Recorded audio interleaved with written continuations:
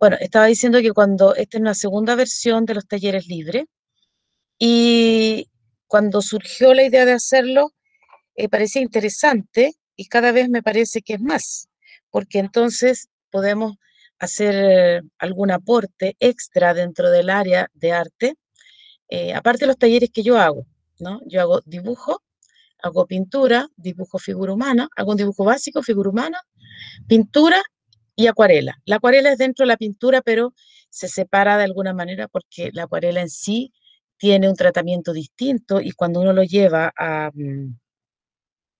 hacia la pintura pura o hacia la ilustración se maneja distinto. Eh, levantó la mano Alexandra. Sí, Alexandra. profe, eh, Hola. Bueno, la verdad es que igual estos talleres son súper útiles para nosotros, independientes. Primero porque son abiertos tanto a personas que son de la universidad como personas que no. Y lo otro es que desde el semestre pasado que quiero tomar el taller de acuarela con usted y no puedo porque cuando me inscribo mis ramos nunca hay cupo. Así que se agradece igual la oportunidad de, tener como una probadita del taller. Alexandra, si usted ahora no pudo, eh, hay, hay posibilidad de los sobrecupos, ¿ya? Y eso lo ve la coordinadora conmigo, coordinadora docente, porque ya hemos hecho sobrecupo lo único es que cuando hay tope de, con alguna asignatura suya, es mm. imposible porque el mismo sistema no lo permite. Claro. ¿Se fija? Entonces, de lo contrario, se puede eh, arreglar. Voy a revisar los horarios y le voy a mandar un correo cualquier cosa. Muchas gracias, profe. Sí. Bueno, entonces yo me preparé y pensé cómo traspasar esta información del, del color y por eso preguntaba de qué áreas son, porque es interesante. El color para mí, yo estudié arte, estudié pedagogía y licenciatura. Por lo tanto, el color para mí tiene un peso importante, tiene una responsabilidad grande, porque es quien me permite expresar lo que yo digo. Por eso, de estas cuatro talleres lo dividí en eso. Esto me voy a ir más que lo técnico por la expresión. Sin embargo, eh, yo quise abordar varias cosas, varios aspectos del color que eh, se conectan desde el tratamiento del color, desde la teoría del color, desde cómo decido eh, y desde qué lado yo lo voy a tomar y lo voy a hacer, ¿ya? Desde qué mirada. Entonces, traté de hacer un poquito teoría, aplicación y al final un desafío yo les propongo a los que eh, pude comunicarme, les propuse eh, tres desafíos de hacer en esta misma sesión. Aunque nos pasemos la hora, el que se, se tiene que retirar se retira. Pero sería interesante lograr un desafío, ¿ya? Porque es algo práctico, sin ningún tema, porque estamos abordando solo el color. Em, ah, me está explicando ahí Sabina Peñailillo y es de ingeniería eléctrica. Ya, entonces, más que nada, el que les hubiera preguntado las carreras, como decía, por ejemplo, tengo dos personas de química y una persona de arquitectura. Si tengo alguien de arquitectura, tal vez voy a pensar en que el color en algún minuto a la persona le tendría, la mirada del color tiene que ver con ciertas profundidades o tratamiento estético del color podría ser.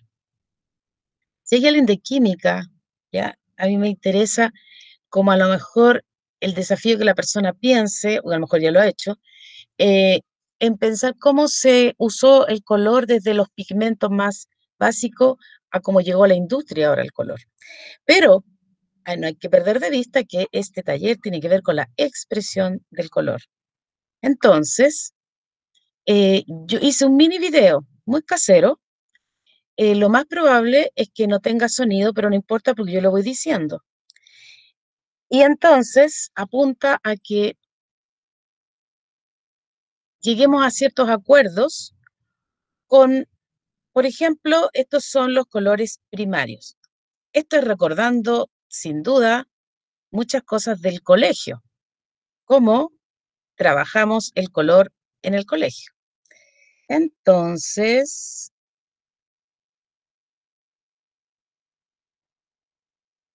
tenemos los tres primarios. De los tres primarios, ¿cierto? Yo quise hacerlo de dos maneras. Ahora con pigmento, para que vean cómo mezclar, y después con papelitos de colores para hacerlo más rápido.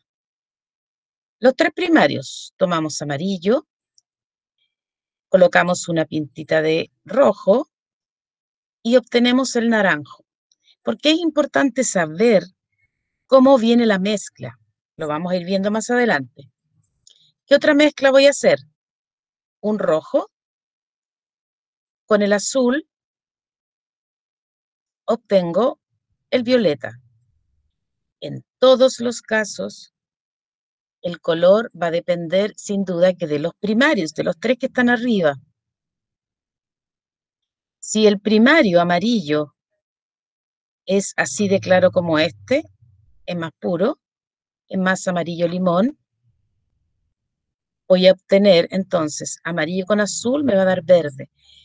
Ese verde entonces va a depender del amarillo que ocupe, del azul que ocupe, porque de los primarios aquí tenemos tres, pero hay variedades de rojos, variedades de azules y variedades de amarillo, ¿ya? Entonces, partamos de eso como un primer acuerdo. Tenemos los tres primarios, los tres secundarios, que salen de la mezcla de ellos, ¿cierto? Ahora vamos a sacar del secundario vamos a sacar los colores complementarios. ¿Por qué necesitamos hablar de los complementarios? Porque voy a entender racionalmente, aquí podríamos dividir el taller que tienen que ir avanzando en forma paralela, dos cosas, lo intuitivo, el sentimiento cuando hablo de la expresión, pero también necesito entender un poquito la teoría, porque si hay algún minuto que yo quiero algo muy en especial, sé cómo lo voy a obtener. Entonces, Ahora, fíjense que aquí tengo un naranjo y el complementario es el color opuesto al que yo estoy mostrando. El naranjo se hizo con amarillo y rojo. ¿Cuál es el opuesto del naranjo? El que no participó en la mezcla de los tres. O sea, en este caso, el azul. Son familias distintas, por lo tanto, si yo lo pongo uno al lado del otro, va a vibrar y se va a expresar lo más fuerte. Muchas veces cuando alguien quiere poner algo fuerte, integra el negro como algo eh, oscuro e intenso. Es porque no se les ocurre qué color. Ahí estoy mezclando, ¿cierto? Tenía el violeta. El violeta, ¿cuál sería su complementario? Mezclé azul, rojo y el que quedó fuera es el amarillo. Entonces, ese es su complementario. No tiene nada de la familia del otro. Y aquí el último que hice fue mezclé amarillo, azul, medio verde. ¿Cuál quedó fuera? El rojo. Por lo tanto, ese es su complementario. Hasta ahí los colores yo los podría usar al lado. Si los uso uno al lado del otro, voy a provocar un choque, una expresión muy fuerte. Antiguamente, la gente decía, que no se podía vestir uno de rojo y verde, un pantalón y una polera verde, antes, porque ahora la gente, estamos hablando de, no sé, 30 años atrás, porque decía tomate ají. Entonces, eso cambió, uno se puso más atrevido. Y ahora, ¿qué ocurre si yo lo estoy colocando al lado hasta ahora? ¿Qué ocurre si yo los mezclo? Y ahí van a salir nuestros grises color.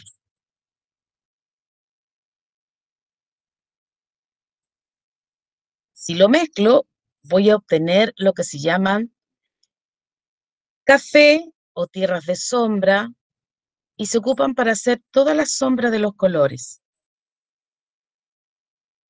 ¿Cómo va a quedar ese café? Va a depender de cuánta cantidad de naranjo coloco en relación al azul o si mi naranjo es más amarillento o más rojizo. De ahí va a pasar lo mismo con los demás. Si los mezclo, voy a obtener entonces los tonos café.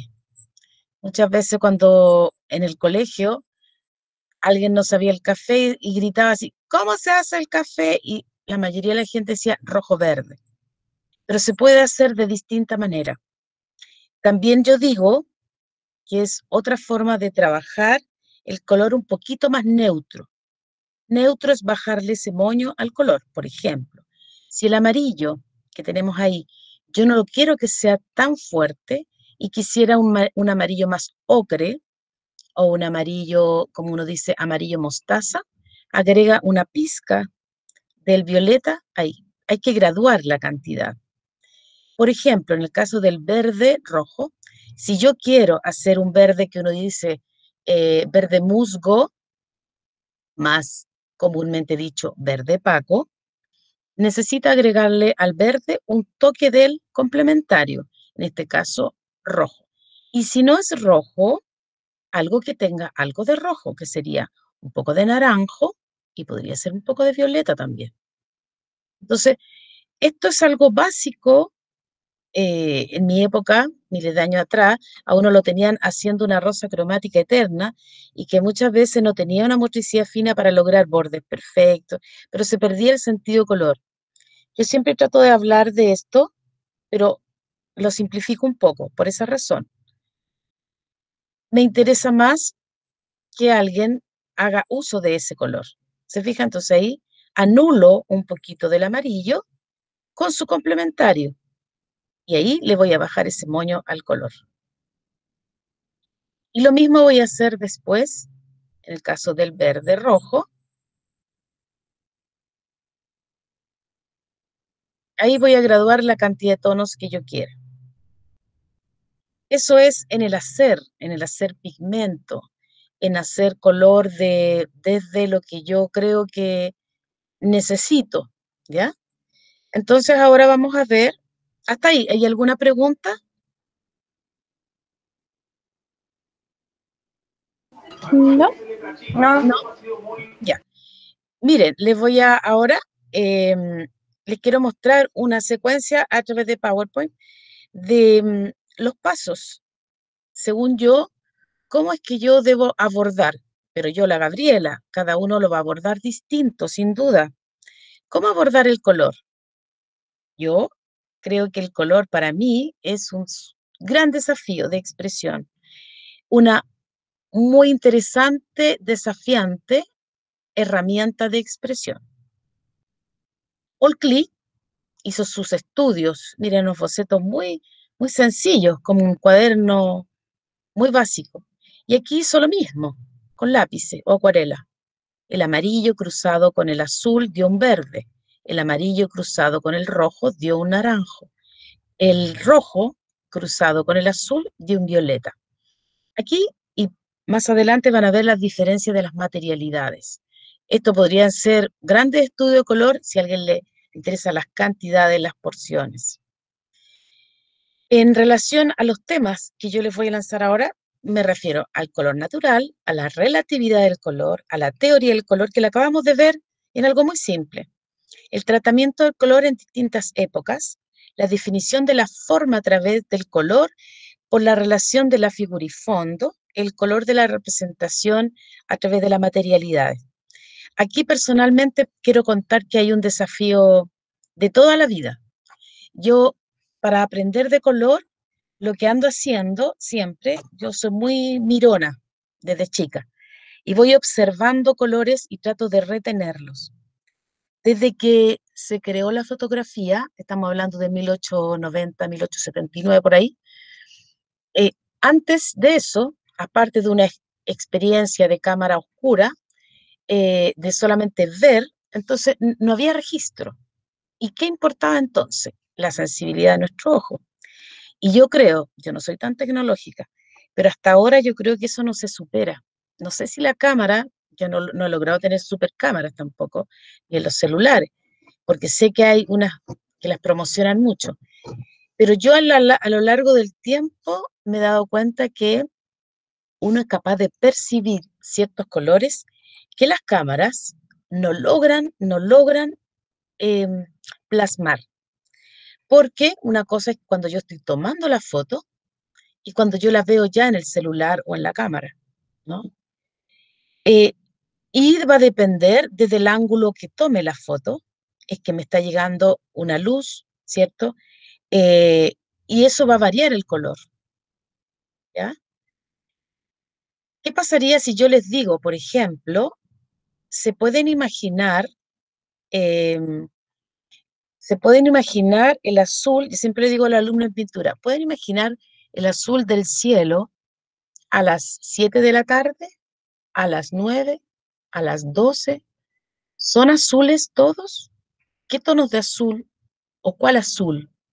Hay en la fábrica, eh, ya de, pinturas, acrílico óleo, témperas, hay nombres como azul ultramar, azul cobalto, azul de Prusia y muchos más. ¿ya? Em, ¿De qué dependen? De los matices del azul. Y entramos a otra palabra, porque aquí todo se cruzaba. Cuando yo ordenaba el material, decía, a ¿qué es lo que pongo después? Quiero que imaginen esos azules de la noche, pero de repente ni siquiera son azules. Entonces a mí me ha pasado que días de invierno es distinto al día de verano. En las noches hay azules transparentes. Si uno empieza a ejercitar el observar y retener esos colores, va después en algún minuto, cuando arme su paleta de colores, van a aparecer esos colores. Por lo tanto, el ejercicio va a partir desde la sensibilidad de percepción. En, en el caso, por ejemplo, a mí me pasa que, y traten de encontrarlo, en su barrio, las luces, la luminaria de la noche es un poquito naranja. Si hay árboles, a veces las hojas de los árboles se ven verdes dorados, verdes naranjos. Y si miro contrastado al cielo, el cielo tiene un violeta que no es este violeta que yo le estoy mostrando, es un violeta más gris. ¿Cómo? Lo que le estaba mostrando, ¿cómo puedo lograr un violeta gris? Al violeta le tendría que agregar un opuesto. ¿Cuál es ese opuesto? Un amarillo. Algunas expresiones que yo en distintos libros he ido encontrando algunas expresiones que me parecen interesantes. Decía, la saturación triunfante del amarillo, sin sombra ni modelado, puntuado con algunos toques de verde. Lo traduce, lo dice y se refiere a una pintura de Van Gogh. Sobre los trigales es una batalla de amarillo y azules. El 8 de septiembre del 88 escribe a su hermano Van Gogh y le habla de esta pintura. He tratado de expresar con el rojo y el verde las terribles pasiones humanas. O sea, él ya lo hizo como su abecedario. ¿ya? Eh, a cada color le asigna un sentido, un peso, una responsabilidad. La sala es rojo sangre y amarillo sordo. ¿Alguien ha visto? Registra en su escala así mental cuál es el rojo sangre ¿Quién me puede definir en este momento cómo podría ser un rojo sangre? ¿Cómo lo haría? ¿Me lo pueden responder? ¿Como chocolate? Como un burdeo. Chocolate, burdeo, ya. Como, como un rojo. Brilloso. Como, mucho azul. Mucho azul, mire, ya. ¿Alguien más? ¿Cocinan ustedes? No. Sí. Se nota Ya, Alexandra, ¿ha visto cuál es el rojo que usted registra en la carne, por ejemplo? Ya, sí. De la, eh, sí, efectivamente, como un vermellón, es como un rojo con azul, efectivamente. Ya, ya. Muy bien, ¿cierto? Eh, ¿Alguien es del sur? ¿Nadie es del sur? ¿Nadie ha ido al sur cuando matan los corderos? ¿No? ¿Nadie ha tenido esa experiencia? No. No, menos oh. mal que no. bueno, yo la tengo, entonces, ¿quién, ¿alguien dijo que sí? ¿No? Yo lo tengo porque mi familia del sur, entonces yo vi mucho eso, y entonces en mi cabecita tengo ese registro, pero además en mi ojo.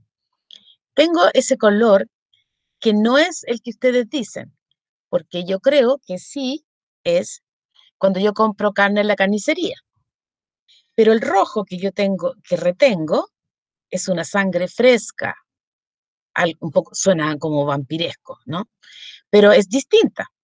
Bueno, no me voy a, a detener a eso, pero para que se den cuenta cómo uno va registrando y va armando su propio abecedario del color, ¿ya? Eh, ¿Me pueden decir, en este caso, ¿Cuál de los dos rojos se ve más claro? Se ve más claro el del fondo blanco, creo yo.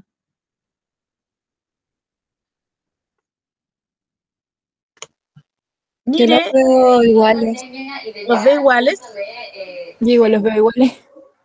Es que son iguales, pero el fondo es el que le da luz a un color y el Exacto, exacto. Hay una relatividad del color. Por ejemplo, aquí tenemos dos papeles iguales, pero se van a ver distintos. En el de arriba se ve más claro que el otro, porque su fondo, su entorno es distinto, por un lado. Pero también podríamos explicar que el, de arriba está cercano al violeta, y al estar cercano al violeta es un, un rojo que tiene más azul. Y al ser el violeta el opuesto del amarillo, vibra mucho más. Además hay un tema de tono. ¿Qué es el tono? La diferencia de luz y sombra, ¿ya? O lo claro y lo oscuro. En cambio, en el de abajo, eh, son tonos similares, ¿ya? Esto se los voy a recordar porque les quiero mostrar algo más. Dos colores distintos, pero parecido tono. Papeles iguales, entonces puestos en fondos distintos, van a ir cambiando su tonalidad. Fíjense que aquí este naranjo eh, tienen tonalidades distintas. En el de acá se ve más claro que en el fondo, ¿ya? Pero hay un detalle. Aquí hay un azul y aquí serían los opuestos. Pero acá comparten el amarillo en su formación. Entonces dialogan distinto. Estos son opuestos, pero además ser opuestos, son complementarios, pero además tienen tono distinto. O sea, un celeste, ¿cierto? Va a dialogar distinto ahí que cuando es azul, más saturado. Lo mismo acá. En este caso, más claro, y son más cercanos porque este tiene más amarillo que el otro verde. Familias ahora de colores. Fíjense, son los mismos papeles, pero en el de arriba está más cercano porque es una familia más cercana. El de abajo es más cercano al violeta y entonces se va separando porque tiene un poquitito más de azul y además se oscurece. Otra vez, dos iguales, tiene fondo el de aquí, al ser un verde con más amarillo, haría las veces del complementario, ¿ya? Por un lado, más amarillento, más violeta, por eso vibra más. Pero por otro lado, también podemos decir, comparten ambos el azul, en menos cantidad de azul y más cantidad de azul. El azul, un color oscuro, se logra ver, siendo tan oscuro, se logra ver más claro solo cuando se va a encontrar con uno mucho más oscuro, que en este caso sería el negro. Si yo encontrara un violeta muy oscuro también podría ser un rojo, marrón, muy oscuro. ¿Qué pasa aquí? ¿Qué creen ustedes que ocurre acá?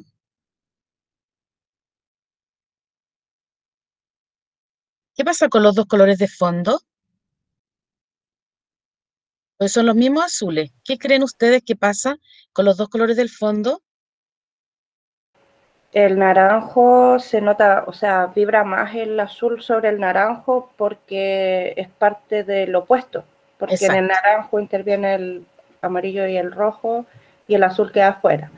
Y en el caso de arriba, eh, el amarillo, em, o sea, ¿Es, amarillo o es verde? No, es un, es un verde muy amarillento. Sí. ¿Cómo se llama? Ahora le dicen pistacho. Ah, ya. No, entonces arriba se ve distinto porque el amarillo está involucrado. Y además, eh, en este caso, aquí hay un contraste porque el color es mucho, mucho más claro, tiene mucho más amarillo que azul. Algo tiene, pero muy poca cantidad. Entonces el tono es muy claro y lo hace contrastar, pero por esa otra razón. Estos verdes es lo mismo. El mismo verde arriba sobre el amarillo se va a ver mucho más oscuro y abajo se va a ver mucho más claro. Y es el mismo. Lo mismo si trabajo con fondos con textura. ¿Qué ocurre aquí? Miren cómo lo claro que se evidencia este porque el fondo es más oscuro y actúa un poquitito la textura, se ve casi en relieve. ¿Ya? Este aquí se ve tranquilo, ¿ya? Tranquilo porque está claro. Y acá vibra más. Vibra más porque también es más oscuro. Aquí donde viene, recién le estaba diciendo por qué me interesaba que se dieran cuenta que yo puedo tener dos colores distintos, igual tienen algo de familia, pero podrían estar en un mismo lugar, por ejemplo, en el cuadro de Paul Cézanne, él trabajó mucho esto como un desafío, matizó, eso se llama matizar, es hacer mezclas de colores, ¿ya? Es distinto color, pero igual tono. El matiz es como el color con apellido, por decir algo, un rojo amarillento, rojo violáceo, rojo verdoso, color con apellido, o amarillo verdoso, lo que vimos recién. ¿Qué era? Eran amarillo, era verde, están en los límites. Entonces, por ejemplo, yo quiero separar un primer plano, como este paisaje que está acá, de las montañas que están atrás. Y tiene los mismos colores, pero de tonos más suaves. Y son distintos colores, pero de igual tonalidad. Si sacáramos una fotocopia, tendrían como los mismos grises. Acá pasa, eh, no son los mismos colores, pero quiero decir que puedo agregar un color de familia distinta pero lo voy a poner en primer plano y lo más clarito hacia atrás. Eso era un desafío de Paul Cézanne. En el caso de los complementarios, yo puedo hablar también, agregar otro detalle. Los pares de complementario, uno es eh, cálido, que en este caso es el naranjo, y el otro es frío, el celeste. Uno es primario, el celeste, es primario el azul, porque si yo le agrego blanco al azul para que quede celeste o lo diluyo con agua, sigue siendo primario.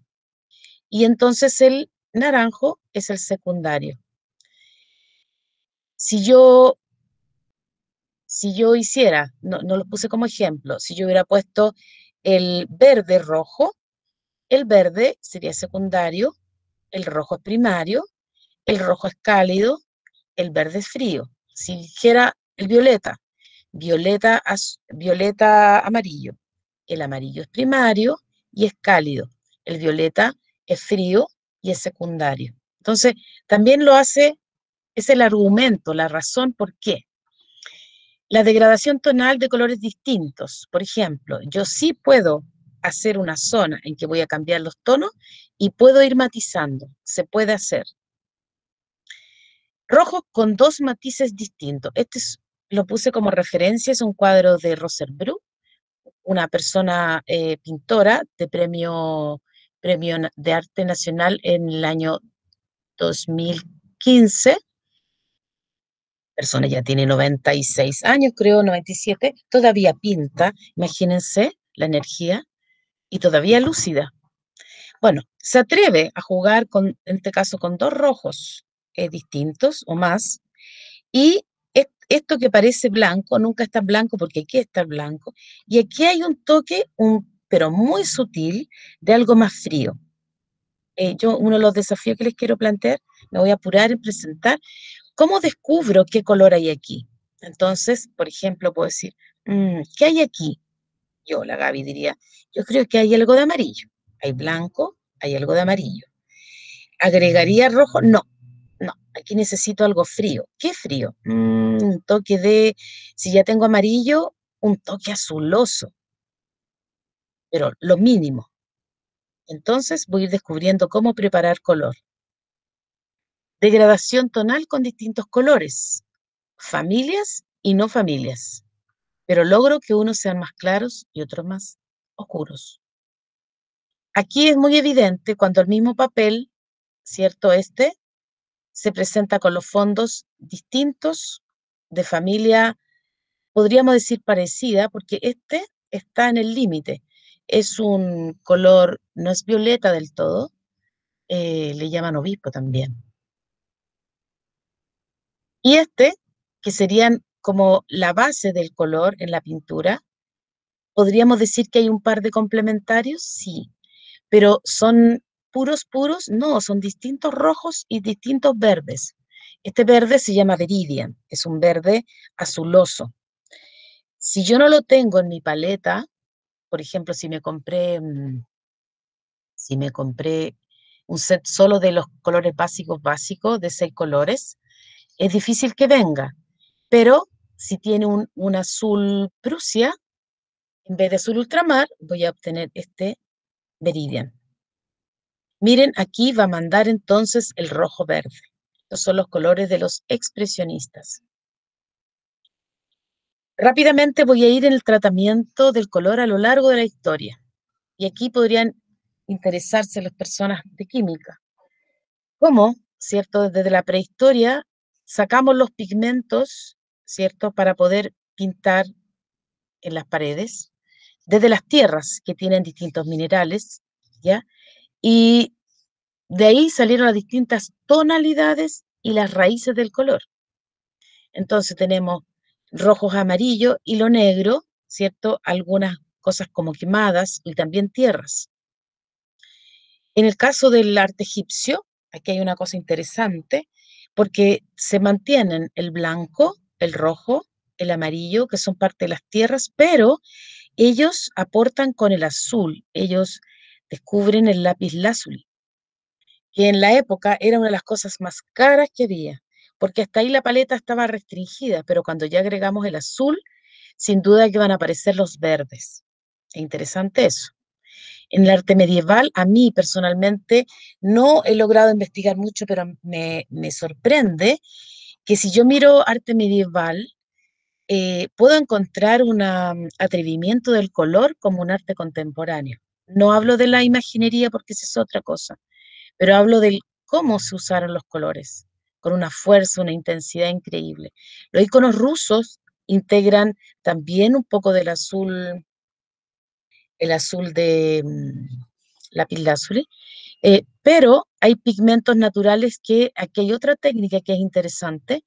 Eh, se trabaja con pintura al temple, se diluyen los, eh, el aglutinante de los pigmentos son el huevo, y también hay dorado, láminas de oro.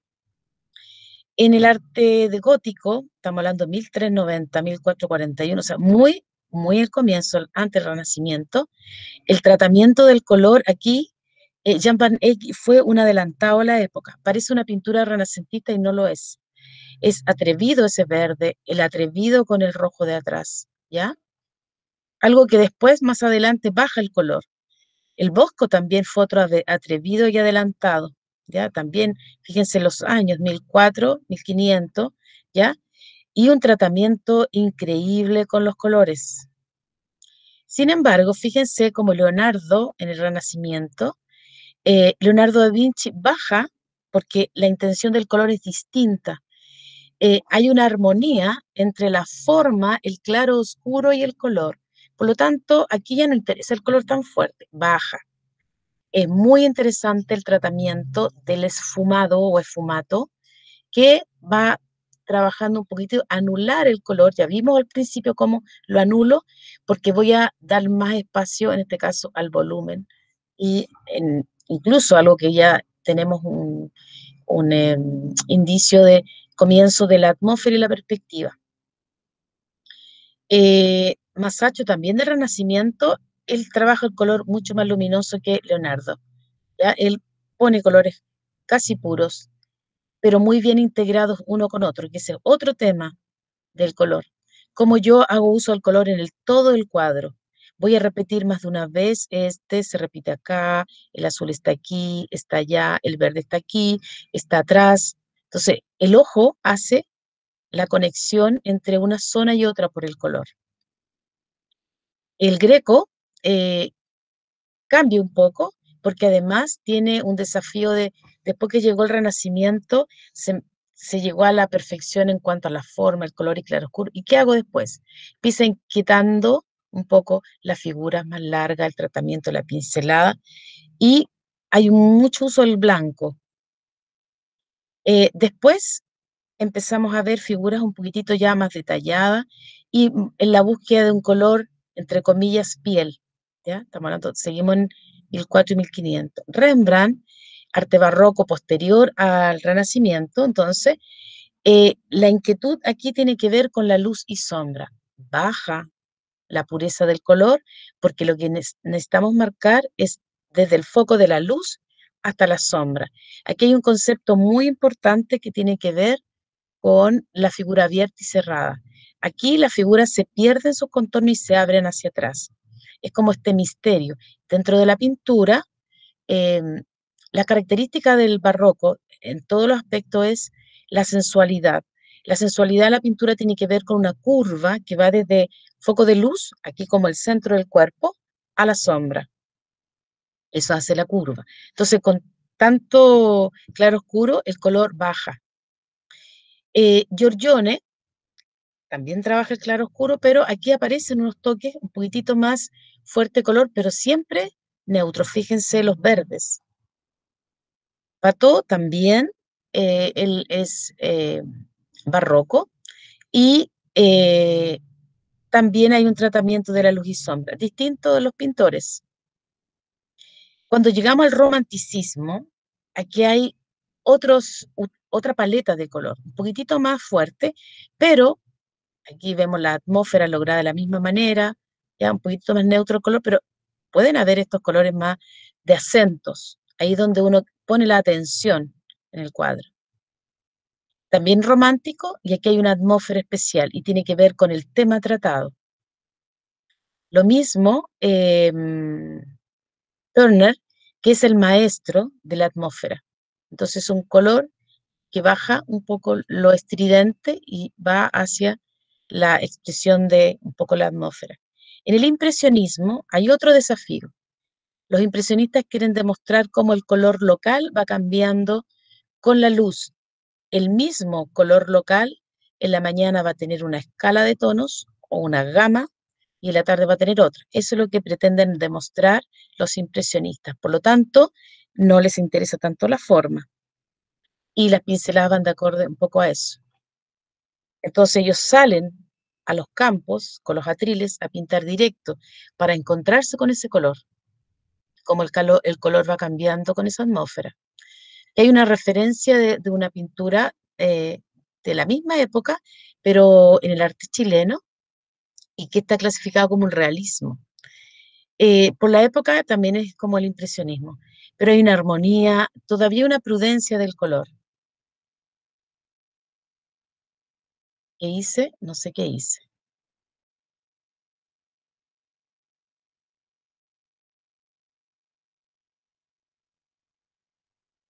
Estaba en él. Estaba acá.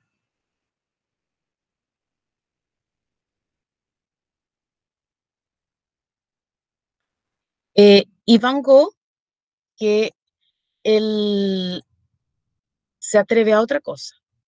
Volvamos a Europa, el postimpresionismo ya está siendo atrevido desde la pincelada y un color mucho más fuerte y puro. El cubismo anula otra vez el color por otras razones. Tiene que ver con, por ejemplo, Picasso se encuentra, eh, descubre el arte africano y lo que le llega físicamente son máscaras africanas que tienen que ver con el color de la madera. Y por ahí entonces baja un poco el color en muchas de sus pinturas. Eso no significa que acaba el color. Y de hecho hay otros, bueno, ahí nace el, el arte cubista, ¿ya? Pero hay otros cubistas que usan color más fuerte. Y también otro movimiento llamado fobismo, en el que la palabra fob es fiera, furia. Entonces, en esa época, estamos hablando ya, pegamos un salto gigante, 1905, eh, lo que interesa es la expresión del color, puro, da lo mismo que.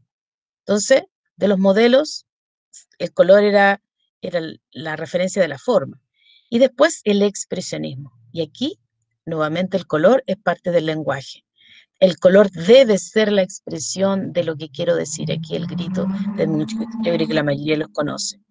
Otro expresionista muy interesante es Nolde, que Nolde lo que me gusta de él es que es como eh, desenfadado. Él le da lo mismo, no hay proporciones, no hay volumen, usa el color como que fluye nomás.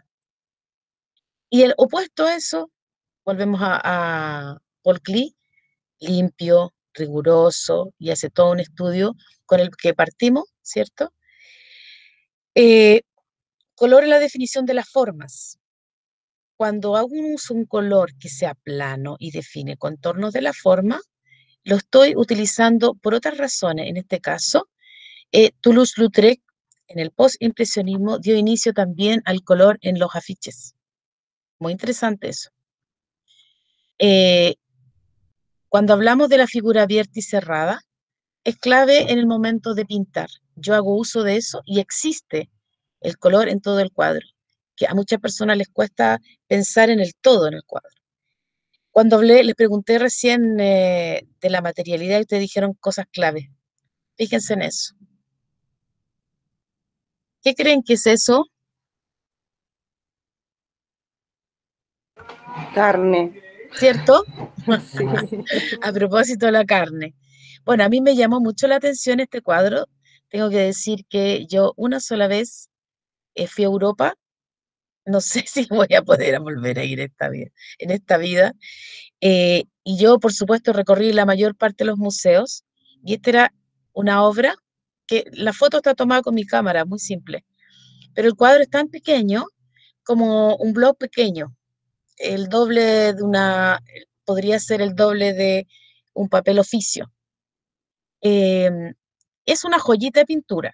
Yo estuve mucho rato observándola. Está en el Museo de los Impresionistas en París. Y me llamó la atención porque yo decía, si yo tuviera que hablar de pintura, y de ahí siempre la pongo en los PowerPoint, porque ¿cómo es posible que con el mismo pincel, el mismo pigmento, la misma paleta de colores, él con su maestría pudo decirnos, aquí hay una carne y yo veo que la carne es fresca. Eh, depende de los tonos, de repente parece más oscura, pero es pintura y es color. Entonces, eh, yo tengo que tener un registro visual y sensible, primero, para poder llegar a armar mi paleta de color.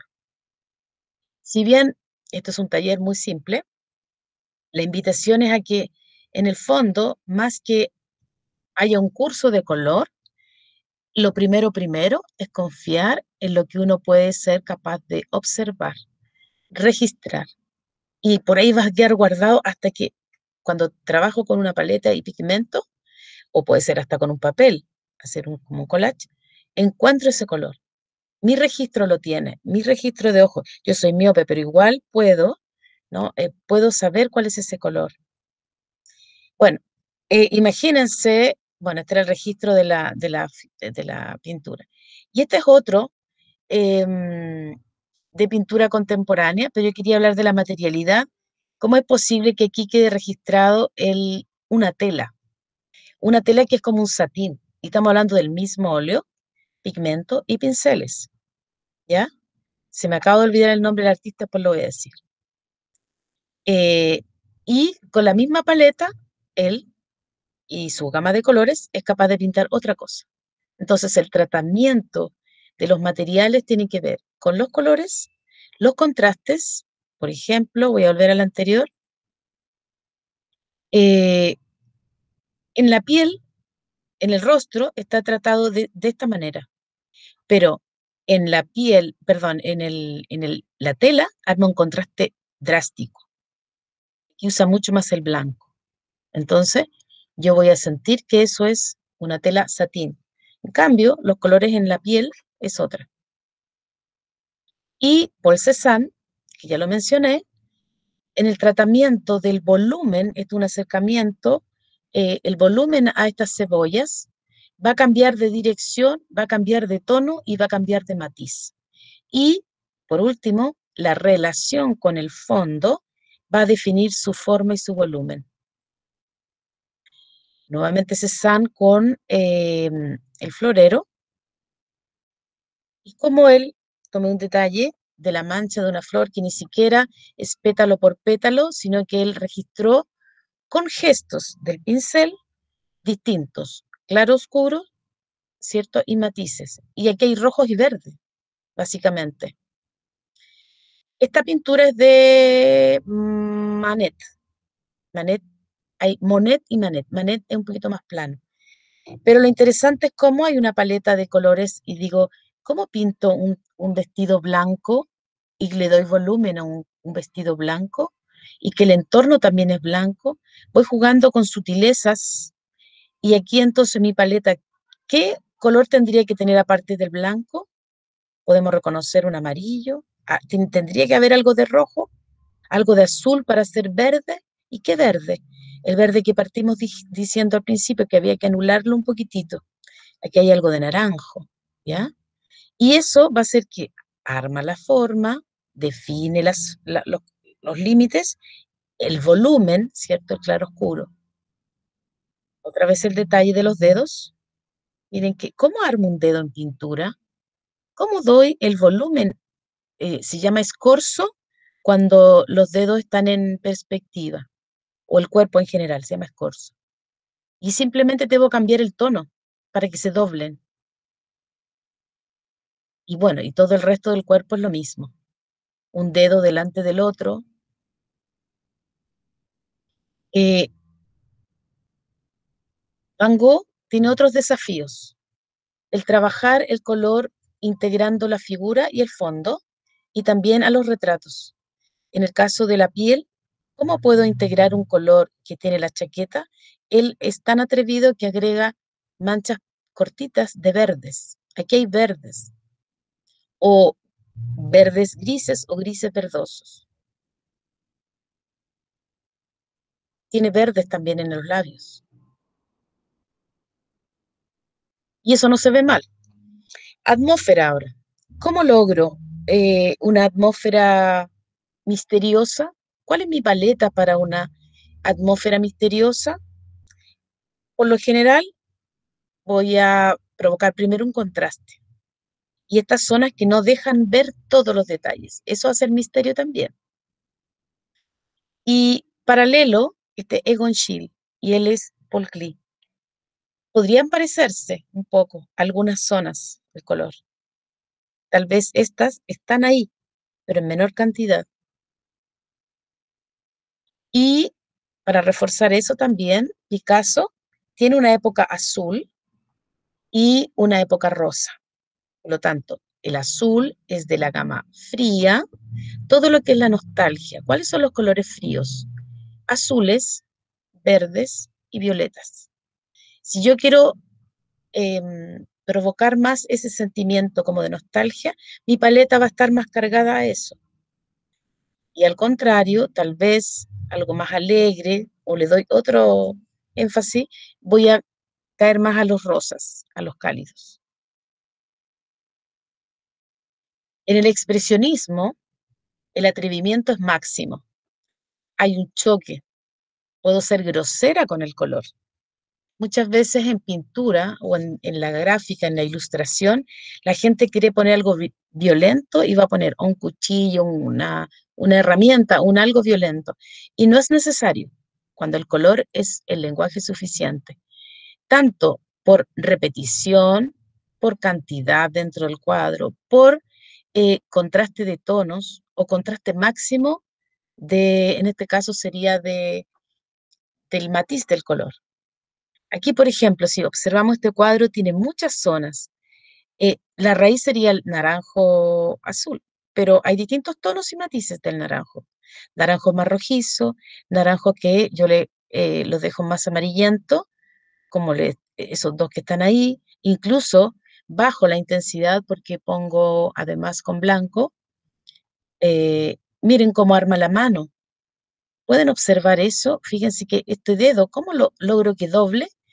La parte de atrás de la mano va a ser más fría, es un poquitito más gris el, naranjo. Entonces mi paleta se empieza a estirar como un gran elástico de matices. Fíjense el color del papel donde está leyendo ella o el lado opuesto, es más amarillento. Fíjense que ella tiene una sombra azulosa en la cara. Entonces, puedo ordenar de alguna manera mi paleta y puedo eh, atreverme a mezclar colores que nunca he mezclado. Aquí puse dos cuadros que son distintos, eh, pero de paletas muy parecidas. Delaunay se atrevió con todos los colores. Es decir, pero ¿cómo puede poner tanto? De repente uno dice, menos es más, pero aquí hay una dinámica desde la forma, la curva, y uno va pasando la lectura del cuadro de, de un lado al otro, de un lado al otro, y así, va de un lado al otro.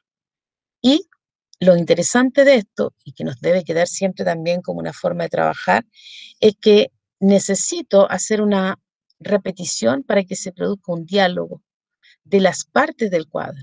O sea, tengo este naranjo, voy a repetir acá, acá. Ahí empieza lo racional del artista. Hay una parte intuitiva, hay una parte técnica y esta parte racional, porque entiendo el por qué se me está desequilibrando. Necesito repetir en un lado opuesto el color. A veces no es el mismo, pero de un tono parecido. Y ahí está el diálogo del color. En este, por ejemplo, a propósito del naranjo, naranjo azul, aquí hay una cantidad de naranjos muy variada, más rojizo, más amarillento, algunos más neutros, y tengo azules, mucha variedad de azules, y algunos que ya pasan al lado de los violetas. Y en este, que es más neutro, quería dejar la, marca un poco del, del trabajo del fondo. Es muy evidente como yo trabajo ese fondo casi con el mismo color, pero va variando la tonalidad. Es un violeta que se activa con este amarillo de la flor.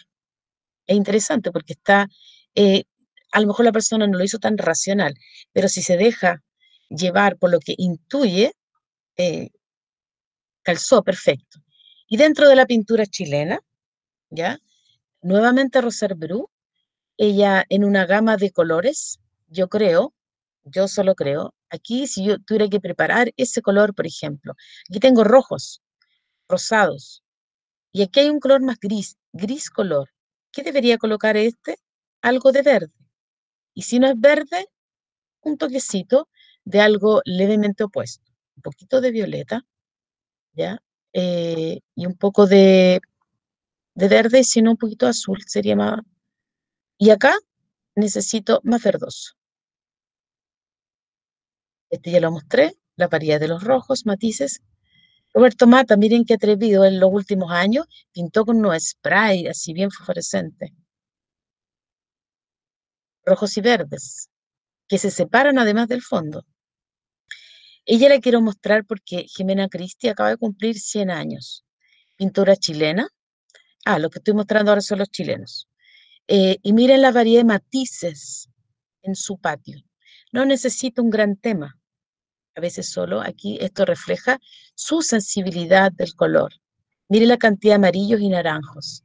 Miren la parte de atrás. No hay definición, pero es como otro cuadro abstracto atrás. Es bello. Bello. Ella es muy fina para trabajar. Dicen que todavía pinta. ¿Cómo harían esta sombra proyectada? Para eso son los complementarios. Puedo mezclar, por ejemplo, un naranjo con una gotita, gotita de azul. Me va a dar este tono. Miren qué bonito cómo sale este color calipso o veridian. Y todo el resto, que son solo manchas, ordena la mirada porque esto es lo más claro. Benjamín Lira, eh, muy atrevido en el color, trabaja zonas muy puras, más limpio de color. Mario Carreño, opuestos, naranjo-azules, pero no estamos hablando de los puros, muy elaborado. Este es blanco con un toque de naranjo, lo mismo los azules de atrás. Eh, Matías Pinto de Aguiar, también joven chileno, viejo para ustedes, pero joven dentro de la pintura. Aquí hay un par de, me pareció interesante mostrar cómo hay un par de complementarios. Verde-rojo, pero ¿qué rojo? un rojo más vermellón. ¿Cuál es el rojo vermellón? El rojo más amarillento. Hay un rojo a carmín y un rojo vermellón. El carmín, el que algunos dicen es fucsia, o el más, eh, más rosado también a veces se ve. Luis Rojas Quijada, también persona mayor, muy mayor. Eh, miren qué atrevido a trabajar con un par también de complementarios, pero que ya se va modificando a grises color de Mesión Túnez. Él ya no vive, fue, eh, fue director del Museo de Bellas Artes. Trabajó en distintas áreas, pintura, grabado, eh, acuarela. Y aquí interesante este desafío de los distintos rojos. Pero puso aquí, no, no puso el complementario, eso no es obligación, ¿no?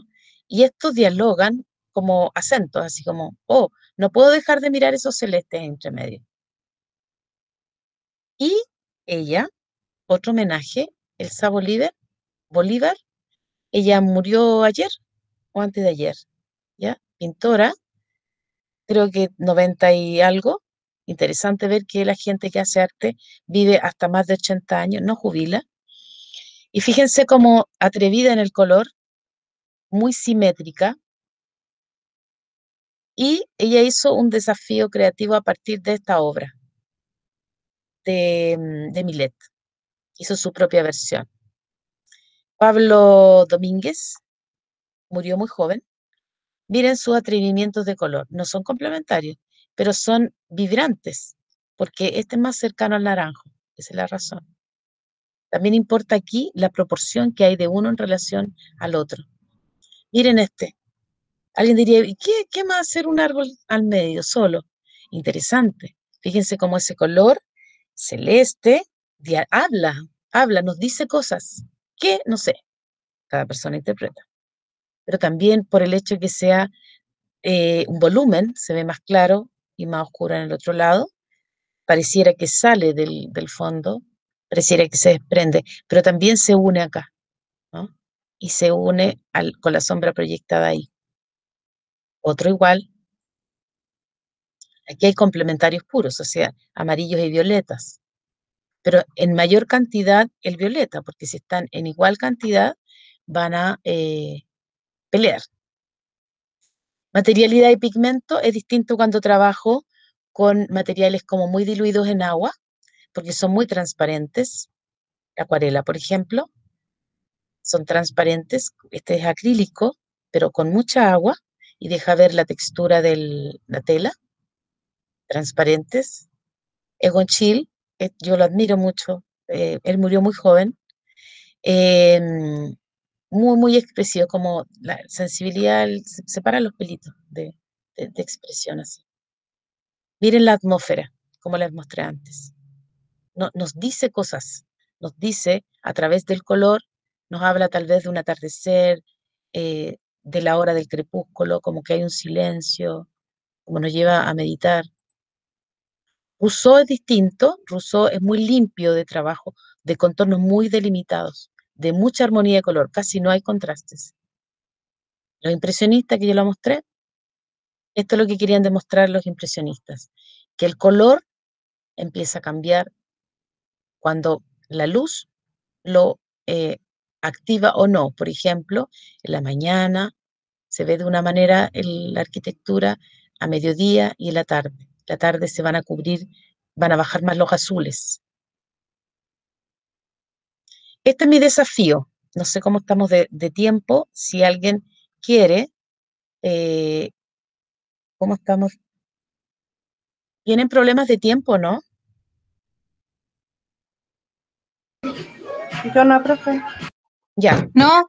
Ya, yo les quiero proponer tres desafíos breves, eh, pero tiene que ver cómo, cómo son capaces de hacer eh, jugar un poco con la sensibilidad que usted tiene, em, cómo ha percibido el color.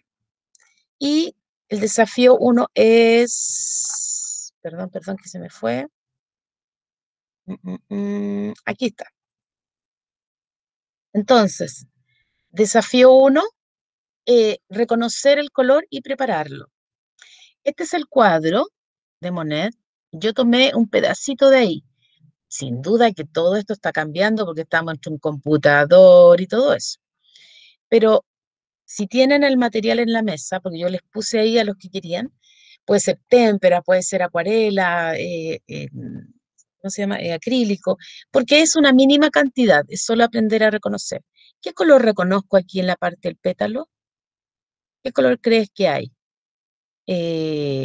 ¿Algo de azul tiene o algo de rojo tiene? ¿Tiene algo de amarillo? ¿Cómo? ¿Cómo logro este color? Más que este, es el pétalo, ¿ya? que se ve como violeta, pero no es un violeta puro. Entonces, ¿cómo lo puedo lograr? Primer desafío, ¿ya? Ahí está el detalle. Y segundo desafío, ¿cuál sería la paleta para representar el cuadro entero? ¿Qué colores reconozco aquí? ¿Hay amarillos? ¿Hay rojos? ¿Qué rojos hay? ¿Hay verdes? ¿Hay azules? ¿Hay violetas? ¿Qué, etcétera. ¿Qué, eh, ¿Qué colores reconozco? Y el tercero, tercer desafío, arme usted una paleta de colores personal. ¿Qué colores le gusta? Por lo menos tendrían que haber seis para que participen en un cuadro. ¿Y cuáles van a ser esos seis? Ahí los va poniendo. ¿Ya? Se lo agradecería que si lo hacen, le tomen la foto y lo envíen a mi correo y yo lo voy a poner ahí en...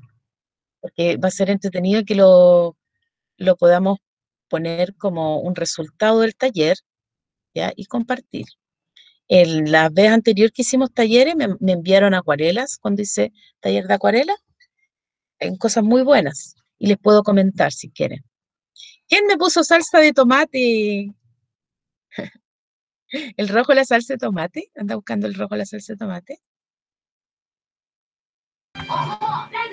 Profe, eh, consulta, ¿cómo podemos, eh, cómo se llama el cuadro del que sacó el, los, ah, las pinturas para poder reproducir? Yo le, se las voy a dejar eh, proyectar un ratito, ¿les parece? Ustedes la van viendo, pero quiero dejar puesto mi correo primero. Em, para que me envíen. Lo que sí les voy a pedir que tendrían que mandar la foto como limpia del entorno, si no la manden con mucho color de la mesa, por ejemplo.